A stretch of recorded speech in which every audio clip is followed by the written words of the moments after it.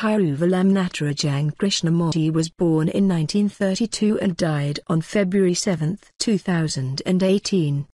He was an Indian meteorologist. He was a professor emeritus at Florida State University, where prior to his retirement he was the Lawton Distinguished Professor of Meteorology. Krishnamurti earned his doctorate in 1959 from the University of Chicago.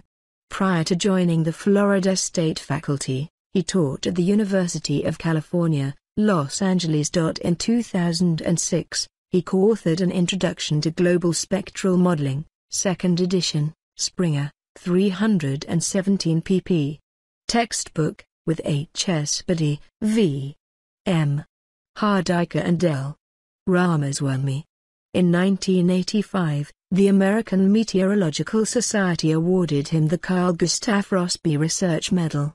He won the International Meteorological Organization Prize of the World Meteorological Organization in 1996. In 2012 the Indian Meteorological Society gave him their Sir Gilbert Walker Gold Medal.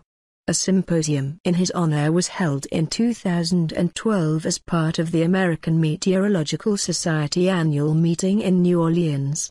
Krishnamurti died on February 7, 2018.